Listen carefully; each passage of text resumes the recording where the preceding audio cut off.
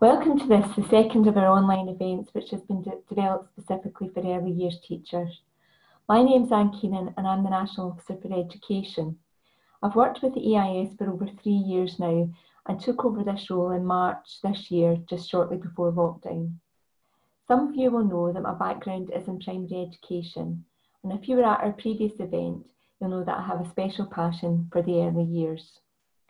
So I'm delighted to be here with you this evening to facilitate our conversation on play pedagogy, and I'm here, here keen to hear from you, the experts in the field, about your experiences of leading learning through play in the context of COVID-19.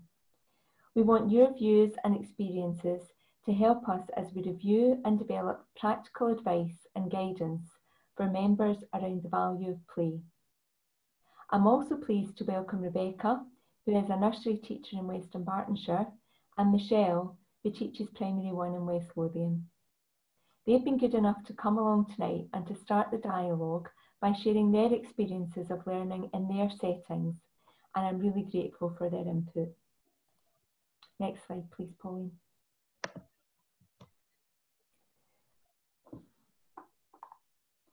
So before I hand you over to Rebecca and Michelle, I thought it would be helpful to give you a brief overview of how we have planned to spend our time together this evening.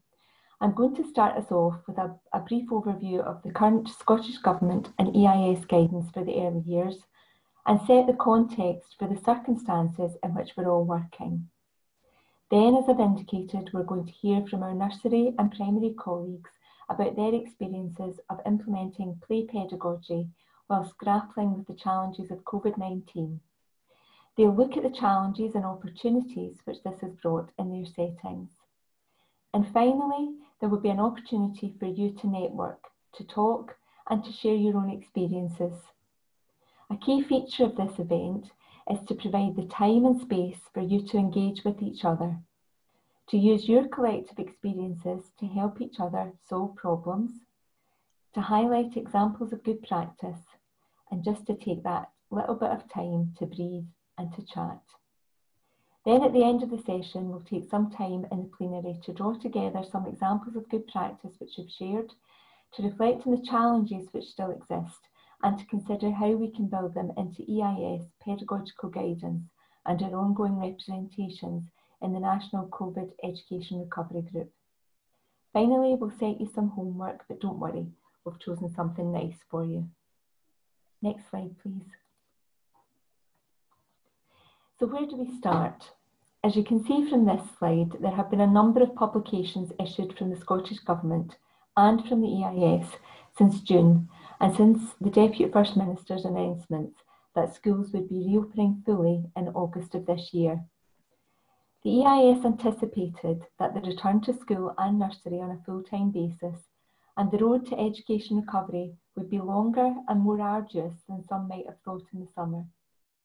We knew that recovery from the social, economic and educational impact of the pandemic would require time and that school life in all its aspects would and should look and feel different.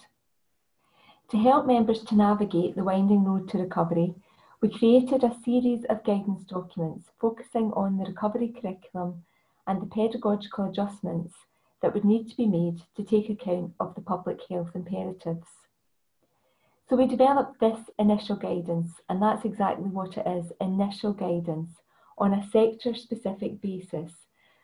So there are separate documents for early years, both in terms of risk assessment and pedagogy, and additional separate guidance for primary, secondary and special education covering both primary and secondary contexts.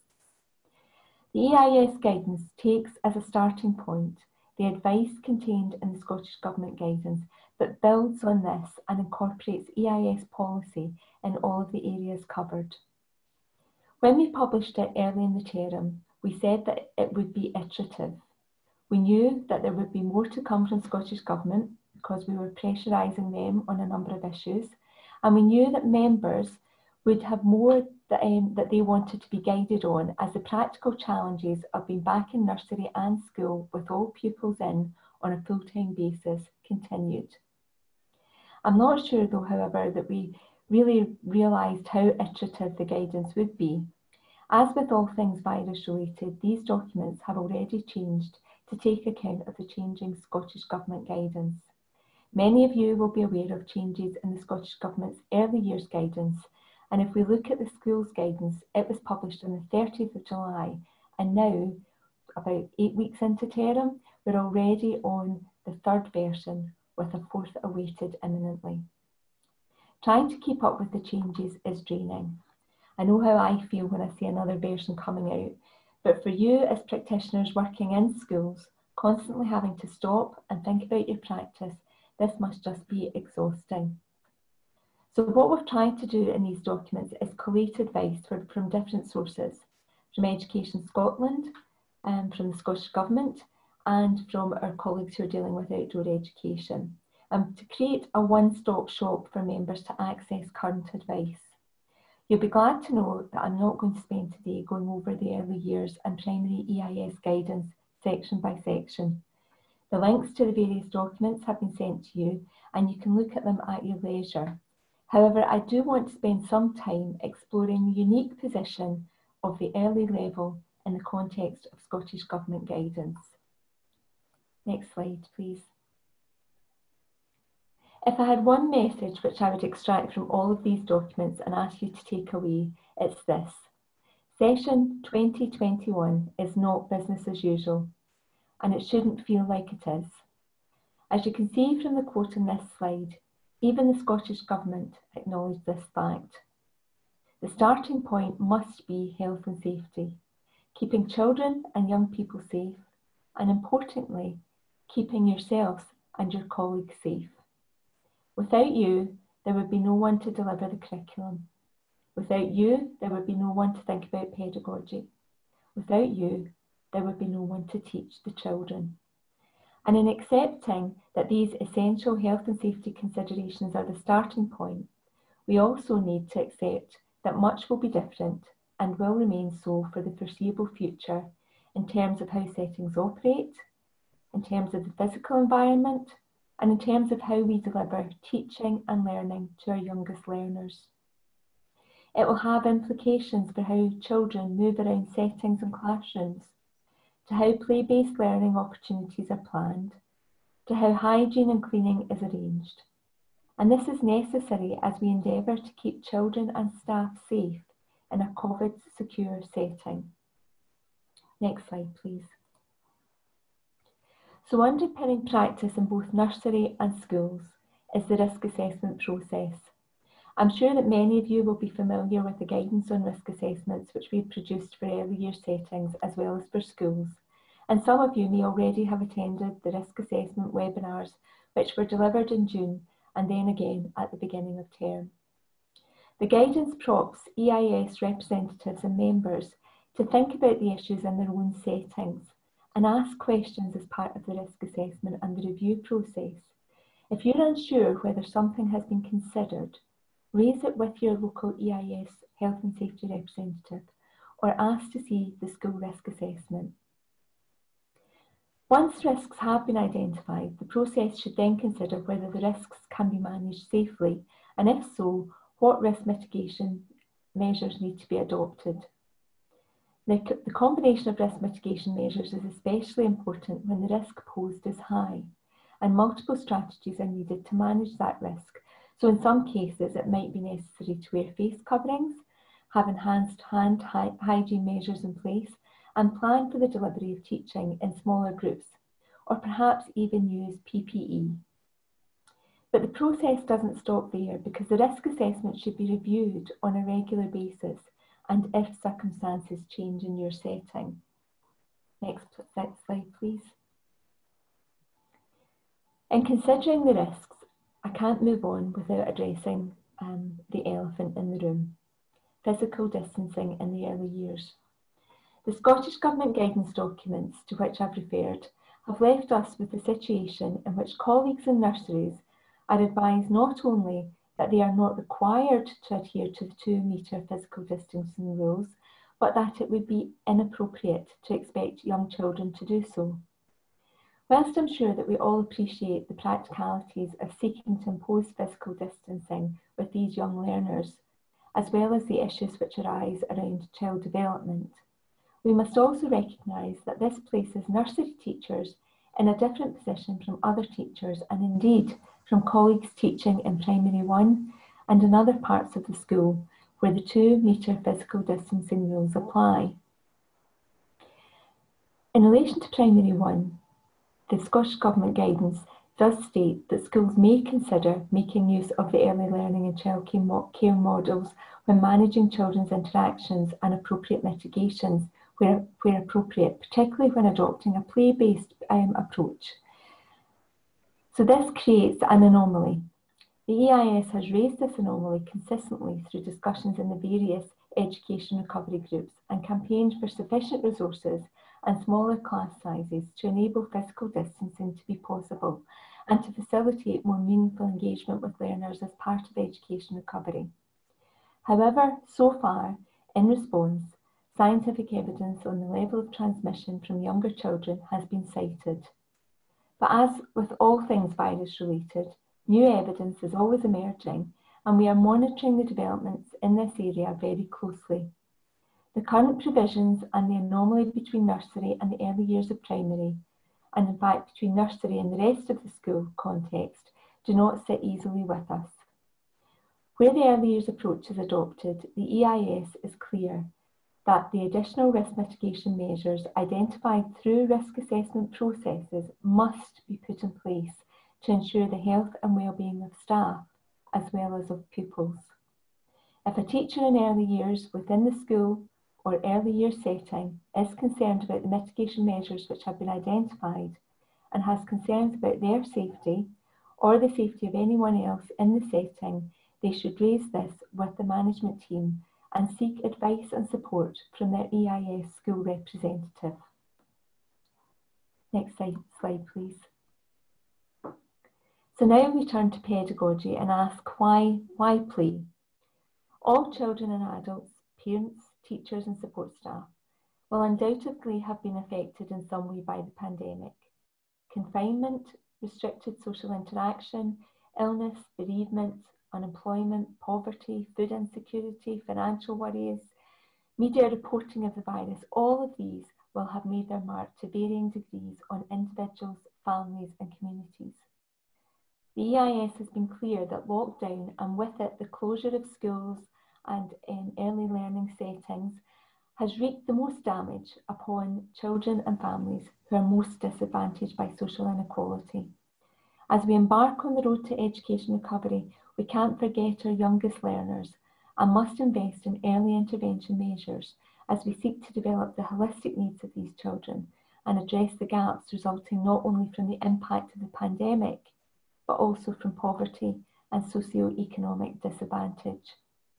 The Scottish Government makes it clear that in re-engaging children in early years education, the same pedagogical approach which we've long adopted, so that of child-centred play-based learning, should continue to apply. And I think as practitioners you would all agree with that approach. So it's no surprise to see the Scottish Government guidance on reopening early years settings highlighting the reasons why this is important. Through play, we support children to form secure and emotionally resilient attachment bases to help them as they grow and develop. Through play, we create an environment in which children will flourish through nurturing and attached relationships.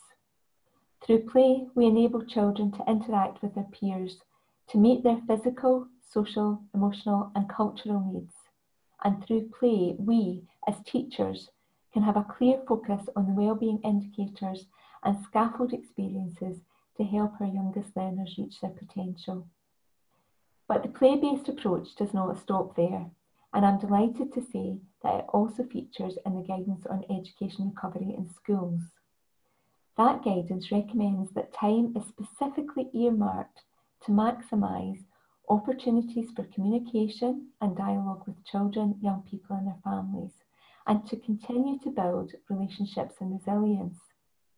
It goes on to state that the benefits of play and outdoor learning will be factored into learning plans, including opportunities for learners to be physically active, to enjoy and learn about their natural environment, and to relax. This guidance is not only for the lower primary, but for all stages. So it's a really it's really positive to see play being valued and being given such a prominent place in promoting the health and well-being of children and young people, and in seeking to bridge the gaps in learning arising from the pandemic and from the impact of socio-economic disadvantage. This approach is not new to early years, and we need to acknowledge the experience which you, as early years teachers, bring to education recovery in the current context. Next slide, please.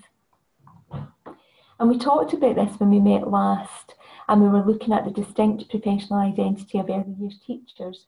But I just think it's worth reiterating and revisiting now that we really need teachers working across the early years.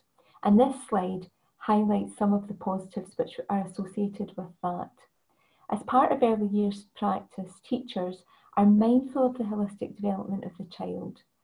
They are ready to identify special needs and use early intervention strategies to support young children. They're used to working with other professionals around the child, and I'm sure that many of you here this evening will already be engaging with educational psychologists, with social workers, um, as you're trying to address and deal with the impact of the pandemic on nurture and attachment. Teachers are experienced in sustaining those important family links and are mindful of the fact that many families will have been dealing with trauma and poverty. But over, overall, GTCS registered teachers in the early years have the confidence in the value of learning through play. Next slide, please. And so your voices should absolutely be central to the discussions in which priorities are set in your nursery or school. The well-being of children, teachers and families is to be at the forefront of all decision making during this initial period of education recovery.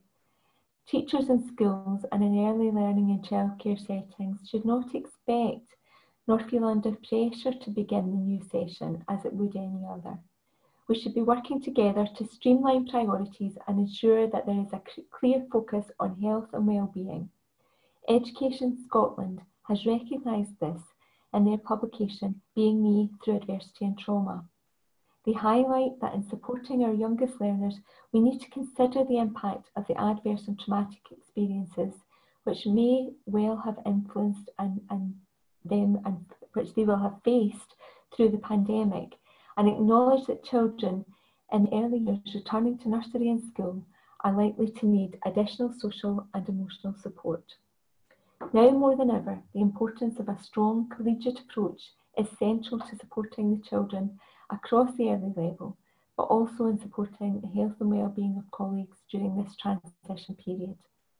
In developing this approach, the EIS recommends that time is set aside to facilitate meaningful discussions around pedagogy with others in the setting, and to agree as a collective how these central priorities around health and wellbeing can best be delivered. This may involve consideration of layout to facilitate the safe flow of play for smaller groups of children, and of how collegiate planning and professional dialogue can take place, with appropriate physical distancing between adults to ensure that learning opportunities are responsive to children's interests and needs. In moving forward with a clear rationale and shared understanding of the value of play, a focus can be placed on the holistic needs of children within the setting. Although it's clear that the same approach to teaching and learning will continue in the early years, as I indicated at the beginning of this session, we must recognise that in delivering this safely, important health and safety measures require to be adopted and reviewed in the weeks and in the months to come. Next slide, please. Now that I've talked about the guidance, you'll be glad to hear that it's time to turn to the operation of play and practice um, in the practitioner um, led element of this section. We're going to hear from our brave volunteers about how they have managed in their setting to adopt and to, to adapt the play pedagogy against a background of health and safety measures. We're going to start with Rebecca, who will tell us about her experience of developing the play pedagogy for session 2021 in her nursery. And then she's also going to deliver um, some additional slides which she has um, developed in conjunction with one of her colleagues, Helen, who is responsible for health and safety and is a EIS health and safety rep in her nursery um, to look at how we can manage teacher wellbeing. So a huge thank you to Rebecca for this and then we'll move on to hear from Michelle about how play is operating in primary one in her school.